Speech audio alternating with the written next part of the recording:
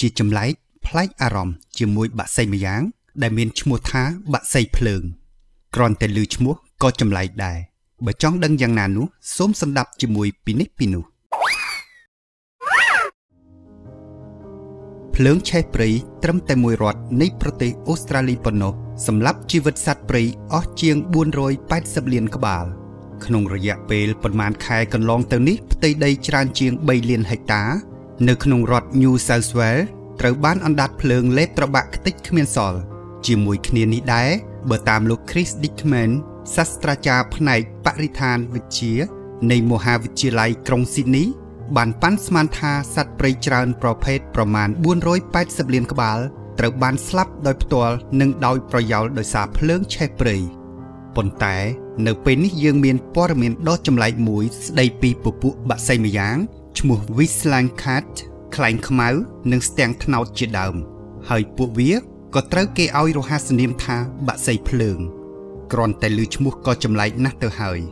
សូមសម្ដាប់នៅព័ត៌មានលម្អិតជាមួយពីនេះពីនោះដែលជាបណ្ដុំនៅព័ត៌មានពិតទាន់ហេតុការខ្លីខ្លឹមខ្លាំង លោកអ្នកពិតជាបានដឹងខ្លះហើយអំពីព័ត៌មានស្ដីពីប្រទេសអូស្ត្រាលីក្នុងរយៈពេលប្រមាណខែកន្លងមកនេះចន្លោះឆ្នាំ2019និង2020នេះកំណើនសីតុណ្ហភាពបានកើនឡើងជាង40ដឺក្រេនិងជាហេតុធ្វើឲ្យមានអត្រាភ្លើងឆេះព្រៃកាន់តែខ្លាំងរហូតសម្លាប់ជីវិតសត្វអស់ជិតកន្លះលានក្បាលនេះជាព័ត៌មានសោកសៅមួយទន្ទឹមនឹងនេះយើងក៏សង្កេតឃើញមានបាក់សីភ្លើងទាំងនេះយ៉ាងច្រើនឆ្លៀតឱកាស ដែលភ្លើងកំពុងឆេះព្រៃបានពំមេឃឈើដែលកំពុងឆាបឆេះទាំងនេះទៅទម្លាក់កន្លែងផ្សេងដូចជាវាលស្មៅនិងកំពតព្រៃជាដើម ជាហេតុធ្វើឲ្យមានភ្លើងឆេះព្រៃកាន់តែច្រើនឡើងច្រើនឡើង អ្នកជំនាញបង្ហាញថា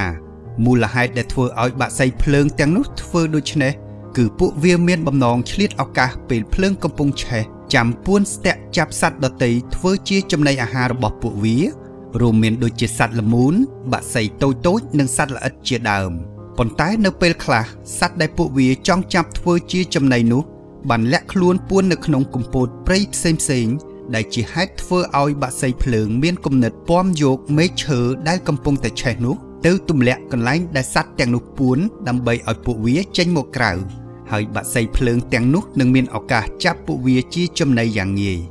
តាមរយៈការសិក្សាយ៉ាងល្អិតល្អន់របស់ក្រុមជំនាញអភិរក្សសត្វព្រៃរបស់ប្រទេសអូស្ត្រាលីបានបញ្ជាក់យ៉ាងច្បាស់ថា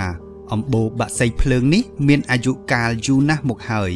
ប៉ុន្តែគេមិនបានបញ្ចេញនិងបង្ហាញឲ្យឃើញពីអត្តសញ្ញាណបាក់សីទាំងនេះច្រើនទេ ពីព្រោះគេចង់អភិរក្សសត្វគ្រប់ប្រភេទគេខ្លាចនៅពេលណាមួយដែលមនុស្សស្អប់សត្វប្រភេទនេះហើយអាចនឹងសម្លាប់ឲ្យផុតពូជ សូមបញ្ជាក់ថាបាក់សីប្រភេទនេះសម្បូរមាននៅលើទឹកដីភាគខាងជើងនៃប្រទេសអូស្ត្រាលី